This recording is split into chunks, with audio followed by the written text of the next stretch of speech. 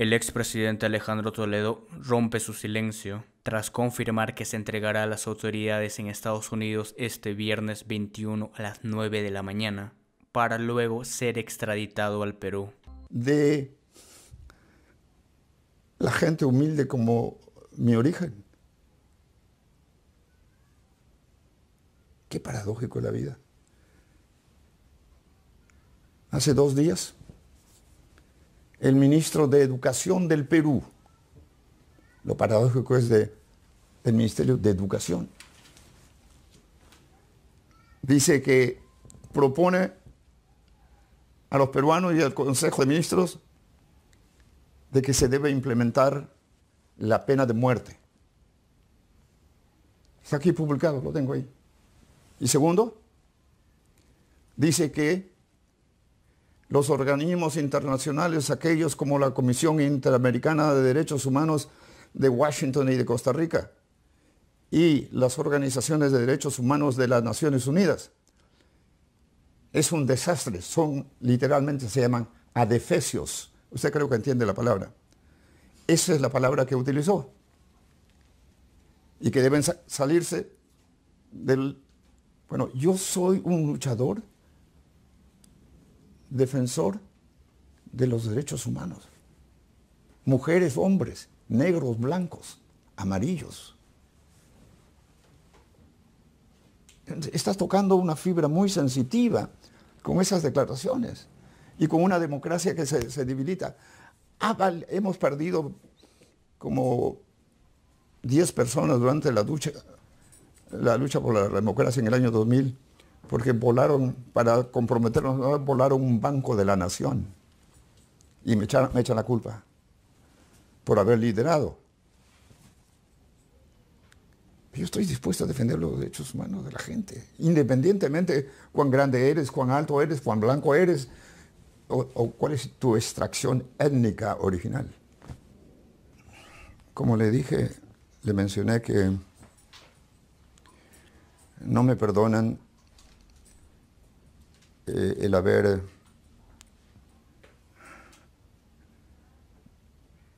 tenido el coraje o la, o la tontería de regresar a mi país después de mi éxito académico para ser elegido presidente. Entonces ahora me echan la culpa de que la elección del, de Pedro Castillo eh, es un mal ejemplo que yo he, que yo he, establecido.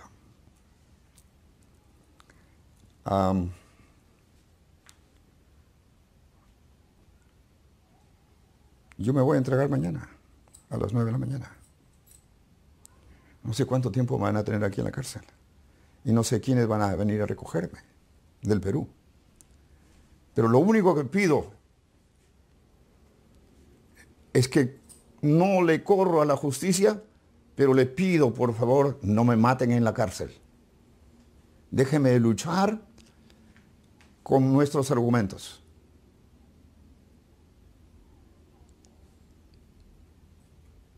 Yo, en un sistema de administración de justicia contaminado por la corrupción y por la politización.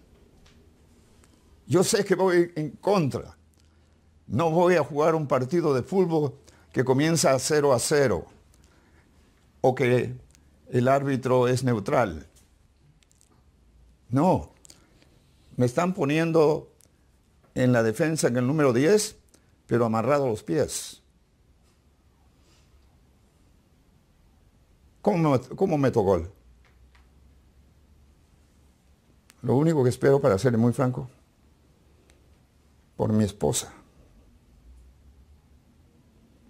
Si tienen que estar seguros que yo no me voy, yo no me voy. Yo no Cuando tomamos la dictadura, el dictador se fugó yendo a una conferencia a Brunei y se fugó a su país de nacimiento, Japón. Yo no me he fugado. Yo soy peruano. Lo único que yo quiero es que respeten mi salud, yo, a mí no me han probado nada y ya me quieren meter a la cárcel. Por eso le dije que estoy absolutamente en desacuerdo con este concepto de, de prisión preventiva y también con el concepto de colaboración eficaz. Quiero que usted sepa que hay evidencias concretas, yo lo tengo grabado, en donde los fiscales han ido a las cárceles de aquellos sospechosos, personas que le ponen a la cárcel como me van a poner a mí, y le tratan de negociar que sean colaboradores eficaces, pero digan algo que sea congruente con la tesis de los fiscales, con la teoría de los fiscales. Y le dan dinero y le dan libertad. Y no estoy especulando. Ahí están los datos. YouTube. Entonces voy a ir a una, otra vez mi ejemplo del partido de fútbol. El, arco está tapado. Y a mí me tienen los pies atados.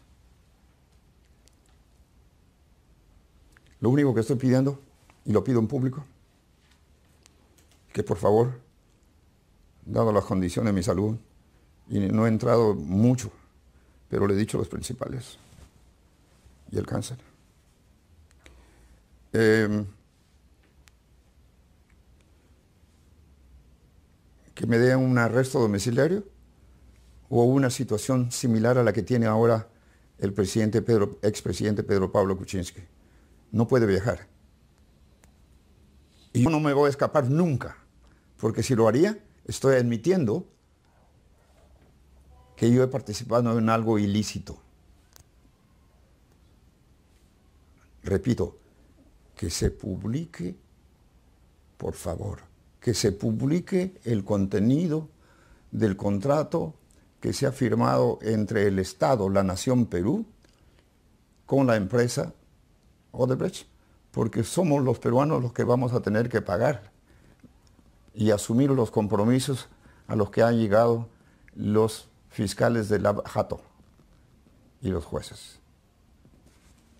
Yo le pido solo que mi casa me den un arresto domiciliario.